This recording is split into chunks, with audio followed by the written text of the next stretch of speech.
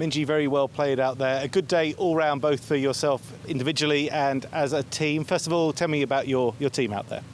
Yeah, no, our team was quite quiet and very quick, so that's what you want in the heat. Um, no, but it was nice. We had great girls and great amateur, so um, hopefully the same um, tomorrow. Some good golf.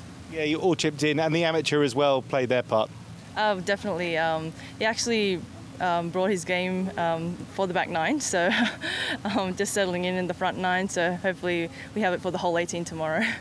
Um, individually, it's not often you, you shoot 63 and you don't end the first day in the lead because Alison Lee's gone out and shot 11 under. But individually, how did you feel your round went? Yeah, no, I made a lot of birdies today. Um, not eight in a row like Alison, but I still felt like I um, played really solid. Um, hopefully, the same tomorrow this course is scoreable, um, especially when the wind is low. And when the wind is like that, it is important to make the most of it, isn't it?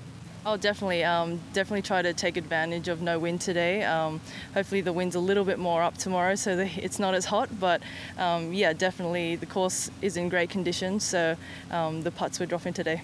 You're in great form, obviously, we know, and of course, you won it against Alison Lee. It's strange how golf um, comes around like this. It's, it's setting up nicely for the rest of the week between you two, isn't it? Um, definitely. Um, I know there's a few low scores out there um, that were um, played today, so um, I think maybe we'll have a few more challenges um, coming into the next two days. Nevertheless, for yourself, confidence can't be much higher at the moment. Yeah, I mean, um, I've had a great last three weeks, so um, yeah, I'm, I'm feeling pretty good right now. I'm pretty hot, so I'll, I'll let you go. Well done. Thank you.